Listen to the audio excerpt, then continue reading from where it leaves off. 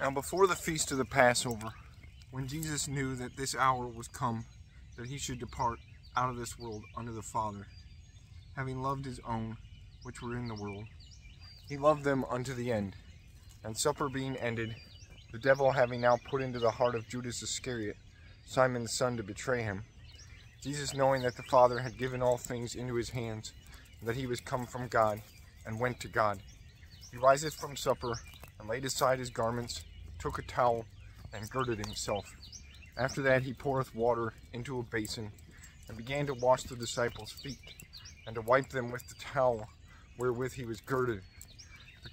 Then cometh he to Simon Peter. Peter saith unto him, Lord, dost thou wash my feet?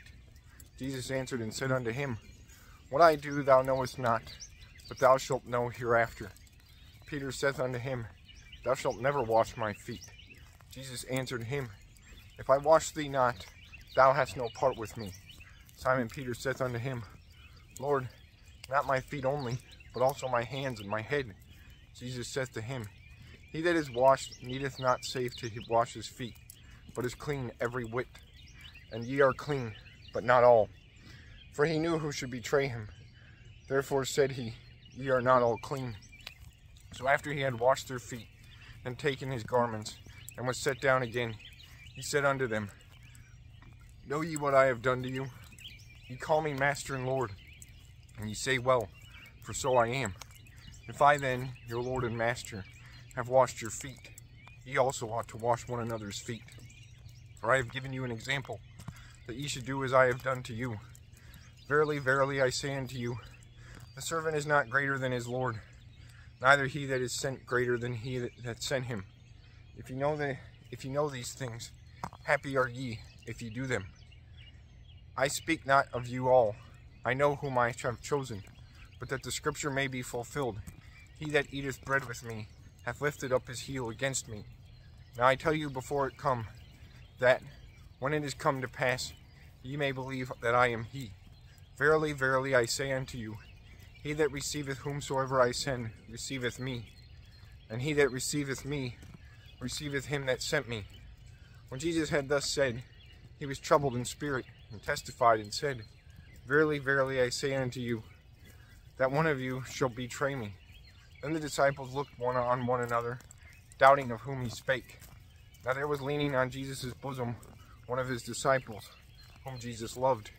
Simon Peter therefore beckoned to him, that he should ask who it should be of whom, to, whom he spake. He then, lying on Jesus' breast, saith unto him, Lord, who is it? Jesus answered, He it is to whom I shall give a sop, when I have dipped it. And when he had dipped the sop, he gave it to Judas Iscariot, the son of Simon. And after the sop, Satan entered into him. Then said Jesus unto him, That thou doest, do quickly. Now no man at the table knew for what intent he spake this unto him.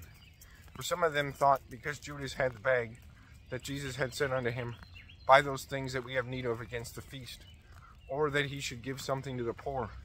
He then, having received the sop, went immediately out, and it was night. Therefore, when he was gone out, Jesus said, Now is the Son of Man glorified, and God is glorified in him. If God be glorified in him, God shall also glorify him, him in himself, and shall straightway glorify him.